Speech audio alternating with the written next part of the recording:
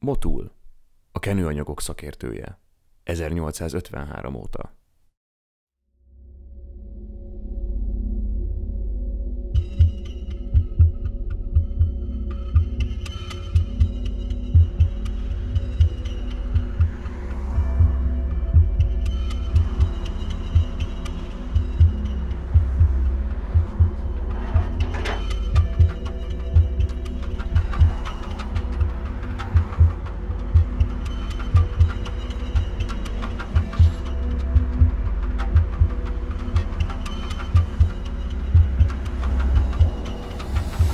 Szervusztok, Szász Márton vagyok, és nagyon szeretek autózni. Kitaláltam, hogy kéne az életemben valami ilyen nagy szedános élmény, és hosszas gondolkodás után a Volvo S60-ra esett a választásom, mert hogy nagyon szép a formaterve, és hát nagyon sok embertől hallottam már azt, hogy a, a, a Volvo motoroknak az élettartama az ilyen örök élet plusz két nap, úgyhogy gondoltam, hogy belevágok egy ilyen kalandba. Sziasztok, Varga Tibor vagyok az autóvizsgálat.hu-tól. Ma ezt a 2002-es S60-ast fogjuk átnézni, főtengely támcsapály problémával, illetve többféle gondja van az autónak.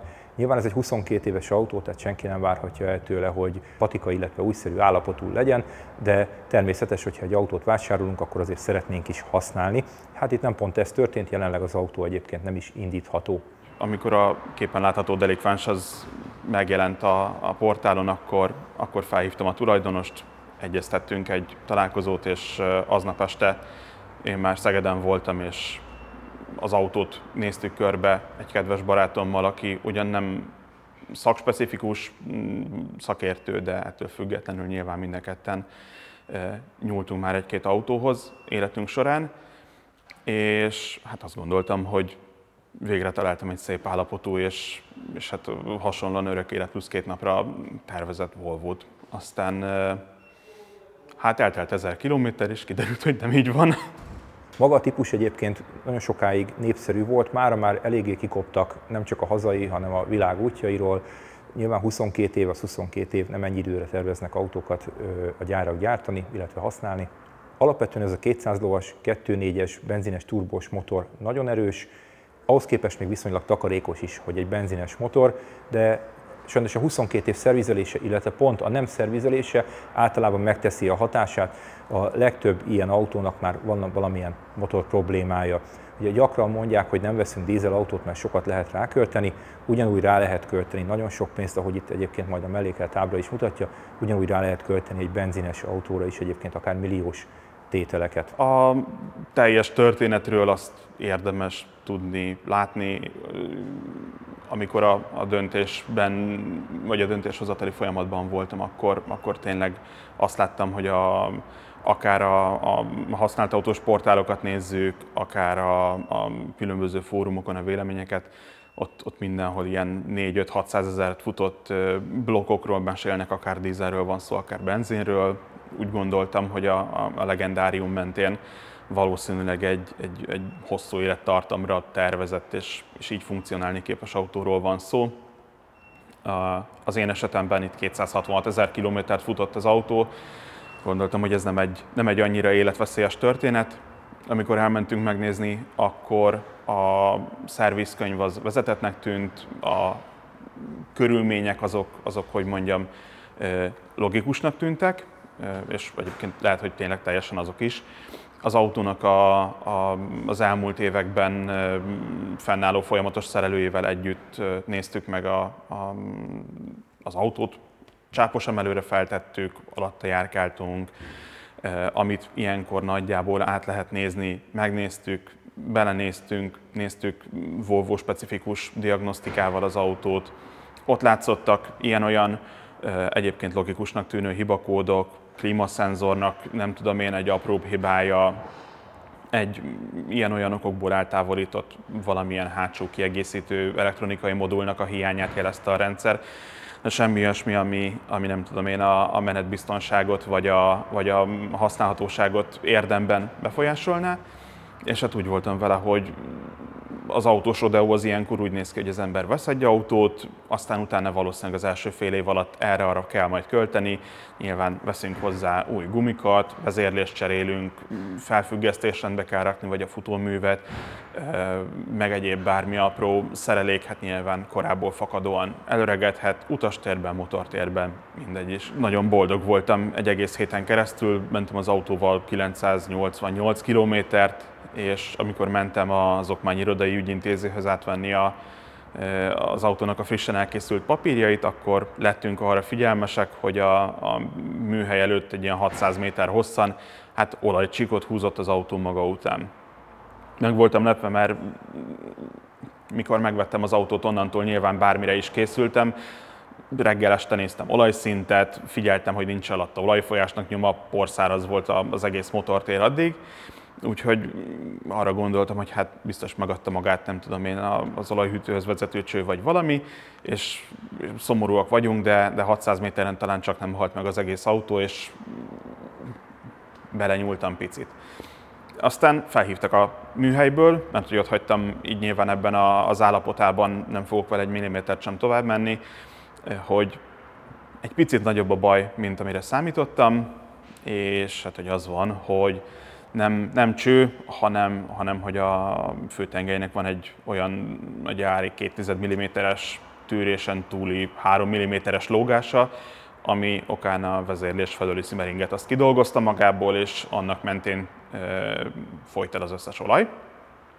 És akkor nyilván ezen a ponton így álltam, hogy jó, hát ez annyira nem szerencsés, de, de hát akkor nézzünk meg egy gyárajánlatot, meg kettőt, meg hármat, meg ötöt, és ahogy gyűltek az információk különböző Volvo szakszervizekből, meg, meg Volvo-s berkekben ismert szerelőktől, hát úgy rajzolódott ki a kép, hogy itt 800 ezer, 1 millió egészen extrém becslések szerint 2-2 környéki javításról is lehet szó, és álltam, hogy hát 1000 km az szerintem az a távolság, hogy éppen csak nem a próbaúton vagy hazafelé adta meg magát a, a blokk, tehát hogy literally egy hétről beszélünk, és ez mindenképpen egy a legendásan ismert, vagy legendásan emlegetett hat hónapos szavatosság időablakon belüli eseménynek történik.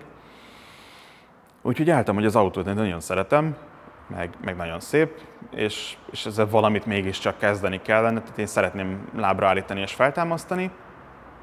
Gondoltam, beszélek is a, a tulajdonossal, hogy Hát a helyzet bekövetkezett, nem gondolom, hogy most bárki részéről rossz hiszeműség állna fenn, vagy, vagy bárki tudott volna erről az egész helyzetről, de hogy alapvetően ezt szeretném, hogyha valamilyen formában utólag kompenzálnánk. Azt gondolom, hogy egy ilyen részleges költségmegosztás formájában lenne ez a legkulturáltabb és civilizáltabb történet. Nyilván, ha egy 1 millió egyes vételáró autóról beszélünk, és egy héten belül kijön hozzá egy 1 milliós szervizszámla, akkor, akkor ezt valamilyen formában a vételárban utólag szeretném, hogyha meg tudna jelenni, mert, mert tényleg a próbaúton is akár megadhatta volna magát az autó, és akkor nyilván el sem hozom. Általában főtengelycsapály problémák akkor jelentkeznek, hogy ha valamilyen olajnyomás probléma van, illetve hogyha nem megfelelő olajminőséggel használják az autót, na hát az ennyi idős korára általában azért többször elő szokott fordulni, a végeredmény pedig itt lesz majd látható. Az én megoldási javaslatom erre az volt, hogy, hogy csináljunk egy, egy 30-70 vagy egy 40-60-as költségmegosztást, tehát hogy a, a, az előző tulajdonos az ilyen 30-40 százalékot vállal át a, a potenciálisan felmerülő szerelési költségekből, és hogyha tényleg kiderül, hogy itt valami egyszerű dologról van szó, akkor, akkor nyilván nem az van, hogy rettenetesen sokat kell fizetnie, hogyha meg tényleg az van, hogy itt egy millióig elmegy a számla, akkor meg, akkor meg annyit, és, és kész. Hát azt gondolom, hogy mondanom sem kell, hogy ő erre azonnal azzal a válaszsal reagált, hogy ő nem tudott róla, én viszont ki tudja, hogy mi mindent csináltam az autóval egy hét alatt, és innentől kezdve ő a, a szerelőjével nagyon szívesen összeköt, de hogy ő költségvetési formában ebben nem szeretne részt venni. És hát jelen pillanatban azért vagyok itt, mert, mert szeretném látni, hogy egy ilyen szituációban milyen mozgásterem van, illetve hogy valóban megállja a helyét az a, az a dolog, amit úgy nagyjából olvasgattam, hogy ilyenkor ilyenkor valamilyen szavatosság véd engem egy ilyen, egy ilyen szituációban.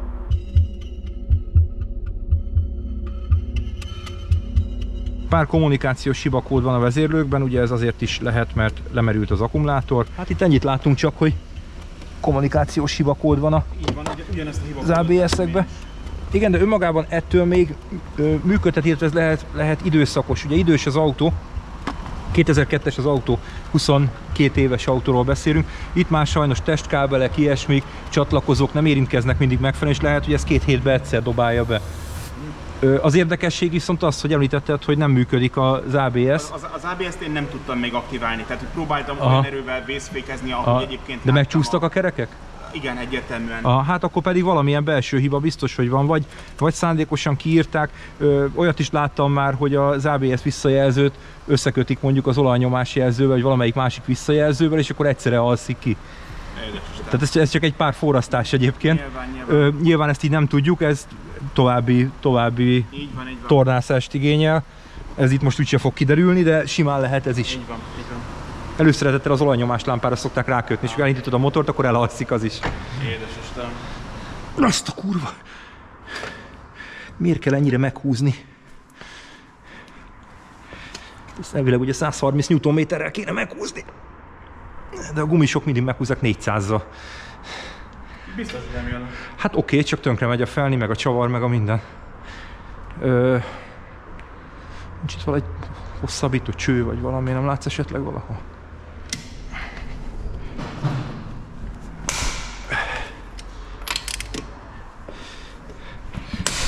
Innen is üdvözlöm a gumist.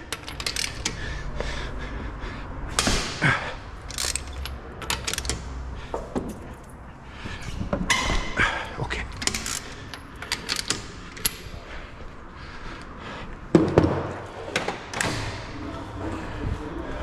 Főtengelyhez, illetve a főtengely égszítárcsához a jobb első keréktől fogunk hozzáférni. Leginkább, hogy meg tudjuk nézni ennek a lógását.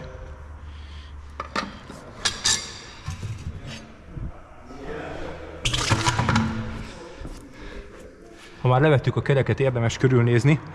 Az első lengés csillapítók felütközés gátlója cafatokra van szakadva. Ezt praktikus kicserélni, ha magát a lengés csillapítót nem is, hiszen ugye száraznak száraz, ha padon mérve is jól működik, azért önmagában az kár lenne kicserélni. Illetve jól látható, hogy a lengőkar szilentek már be vannak repedezve. Ez nem azt jelenti, hogy azonnal ki kell cserélni, de várható, hogy azért egy-két éven belül ez is cserélet lesz. Nem tudom a videóban mennyire látszik, de jelentősen, jelentősen kottyan a főtengely keresztirányban, tehát a támcsapágyak egyértelműen valóban 2-3 mm-t keresztirányban mozog a főtengely. Önmagában ez egyébként nem indokolja azt, hogy a simmering elengedje az olajat, tehát itt további bontás lenne szükséges, levenni a főtengelyék szítárcsát, hozbordás szíjat, megnézni, hogy mi az oka a jelentős olajszivárgásnak. Minden esetre ezt a problémát orvosolni csak egy forgattyús ház szétszedéssel lehet, tehát itt ki kell venni hozzá a főtengely, darabokra kell szedni az egész motort. Ez nyilván egy jelentős költséggel jár.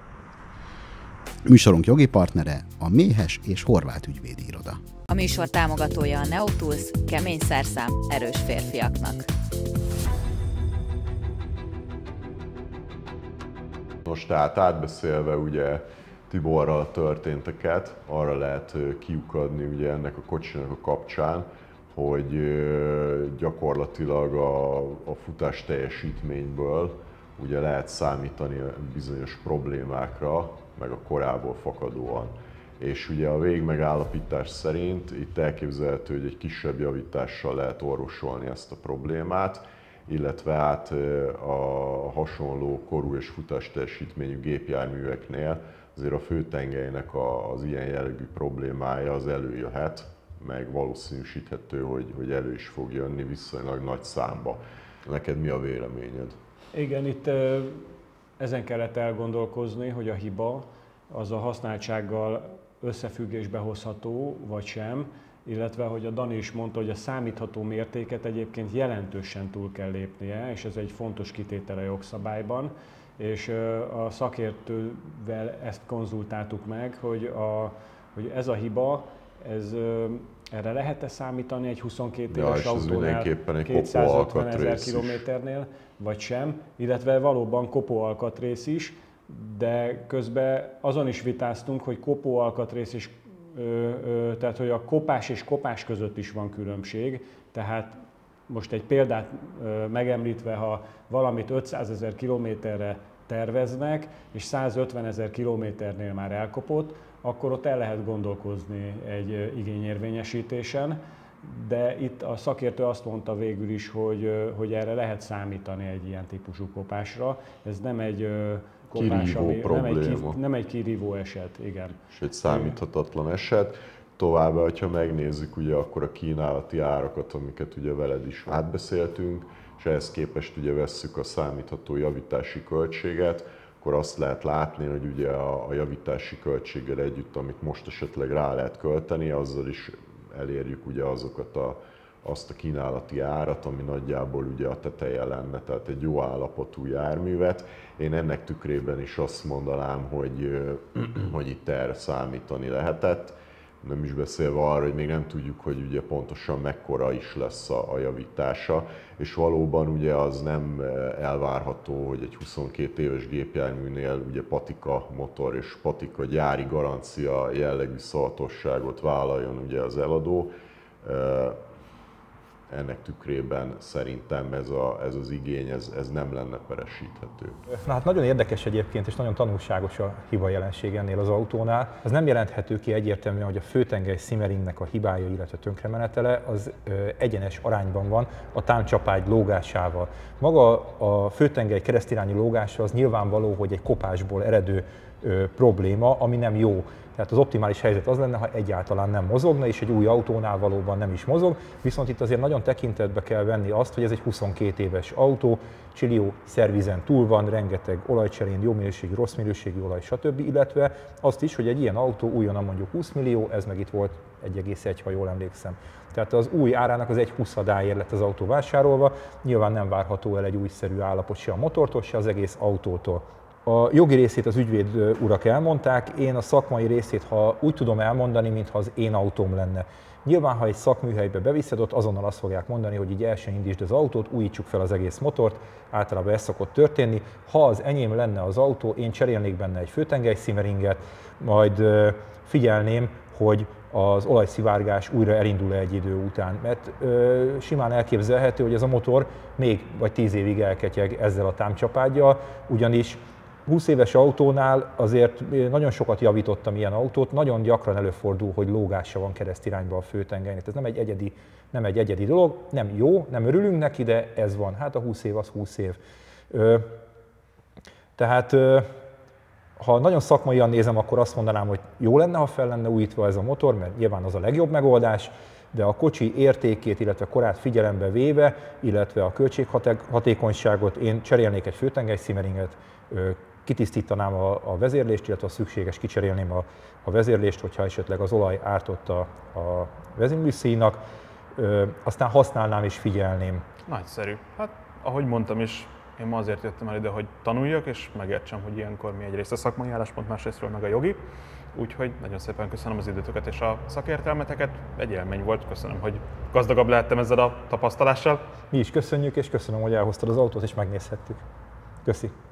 Köszönjük, hogy ma is velünk tartottatok, hogyha úgy érzitek, hogy az eladó átvert titeket egy autóvásárlás során, írjatok nekünk bátran, illetve iratkozzatok fel, lájkoljátok és osszátok meg ezt a videót, és mindenképpen mondjátok el kommentbe a véleményeteket.